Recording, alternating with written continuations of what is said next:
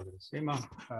Vježba iz debonog tečaja razmišljanja. Ovaj put je riječ o vježbi, odnosno alatu CAF, odnosno razmotri sve faktore, gdje se pozornost usmjerava na sve one čimbenike u kojima bi trebalo razmišljati kada se pozabimo određenim problemom, zadaćom ili sličnim aktivnostima i tako dalje. U ovom slučaju dao sam primjer trčanja, odnosno zadnje godina velika pozornost posvećena je travom načinu života i povećanom kretanju. Koji se sve čimbenici kako utjecali za povećanje broja pretrčanih kilometara i sudjelovanje na utrkama. To je vezano za mene, pa sam ja to ovako sebi razvrstao. Znači koji se čimbenici ili faktori su utjecali zašto ovaj, sam povećao trčanje i kako se javljam na pojedine utrke. Jedno je mjesto rada, radim u uredu i sjedim 8 sati pa mi je potrebna tjelesna aktivnost. Drugo su godine života. Sa tjelesnom aktivnošću se održava i zdravlje, odnosno pokušava se smanjiti i broj novih različitih bolesti. Treće je stres na poslu, trčanje je dobar način izbacivanja stresa.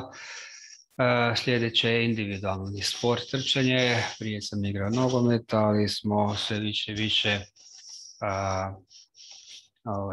se razilazili, ljudi su počeli mali odustajati, kad se više nismo mogli skupljati, jedini način da budem aktivan je bilo da se prebacim na neki individualni sport i tu mi je trčanje bilo prihvatljivo rješenje. Kad su u pitanju utrke, gledam ovaj, da je blizu utrka mjestu stanovanja, kako ne bih morao daleko putovati, što je uh, jeftinije uh, za organizaciju, a i lakše se vratiti nakon utrke uh, do stana.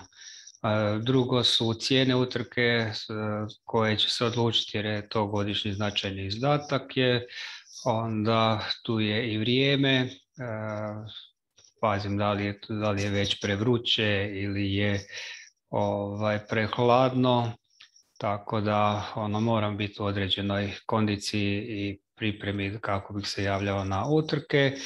Zatim tu znaju biti i dodane vrijednosti, ako su utrke nekako humativnog značaja, zaštite prirode ili obilazak nekoga polja, parka i slično. I ono zadnje što ovaj, može odlučiti je to ako se pojavi neka ekipa pa kaže hoćemo li ići na utrku pa onda se odlučim da će otići na tu utrku. I to je to.